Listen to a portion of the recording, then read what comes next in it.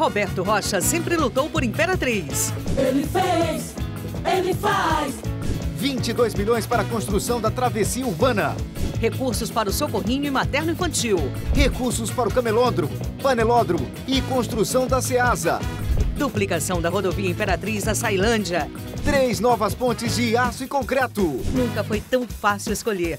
Vote 1, 4, 5. Roberto Rocha, senador. O Maranhão vale a luta.